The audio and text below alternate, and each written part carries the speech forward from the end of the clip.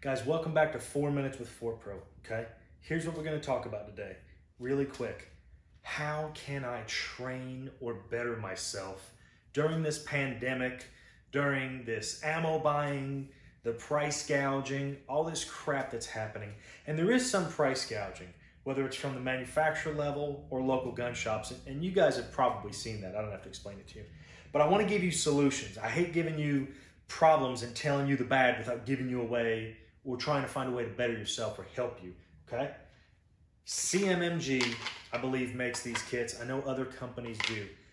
AR-15, you pull, if it's a direct impingement gun, a standard gun, not a piston gun, put this bolt in your gun. So you take, granted this is a piston gun, but just to show you, you take your bolt group out of your gun. You take this bolt group, you put it in that gun. You can shoot 22 LR out of here. Why? Why would I do that, Rob? You can't find 556. You can't find 223. I have seen people selling these boxes for like $170 today. Here's the problem with that. It's $107. These were like 30 bucks six months ago, a year ago, two years ago. Well, sorry, dude, that's over with. For right now, I need you to be sharp. I need you to train. How do I fix that? 22 LR. Well, you get 550 rounds in here. Okay. Well, at a dollar a round, if they're selling them for like 170 bucks somewhere and you find it, yeah, that sucks. But if you can get it for 50 or 100 or trade a box of ammo, perfect example. Here's a box of Powerball. It's 25 rounds. It was $27 when I bought it. It was even cheaper than that. But somebody might want something you have. Trade it. Try and find someone local. But bottom line is, even if you buy 550 rounds of LR, you can still put one round in one, one round in the other mag, one round in the other mag. And when you're running your plate carrier, you can still get three reloads. One, bang, pull it, pull it out, rack it, run your charging handle, bang, oh, drop the mag, punt it, change the mags around. Put two or three or four rounds in this one. Put one round in this one. Put 10 rounds in this one. Swap them out, put them in different spots. You will be able to get a ton more reloads in by doing that. Oh, well, you're not running 5.56. Oh, well, you're not running 2.23. You're shooting a gun. You're bringing up your sights. You're pressing the trigger. Everything is functioning almost the same. Oh, my gun is not working. I have to check it. Oh, it's out of ammo.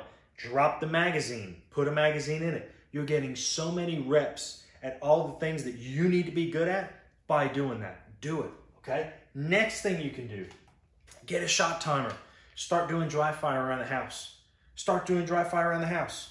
Get a shot timer, set it, walk around, you hear the beep, pull your gun out, punch it out, get a rep doing that. Do that 20, 30, 40, 50 times. You don't have to shoot to do it, but you're tracking your sights. You're going to master grip. You're feeling for your gun. You're raising your shirt, whatever you have to do.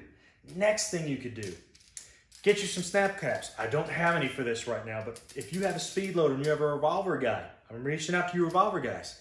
Get yourself a speed loader with some snap caps. Start doing some drills. Start doing reload drills. Take your cylinder down, put your snap caps in them, twist it, pull them out, okay? You can put it together and you can see how fast it takes you to pull the gun up and fire. You're getting reps, okay? Start cleaning your guns. Why would I tell you to start cleaning your guns, okay?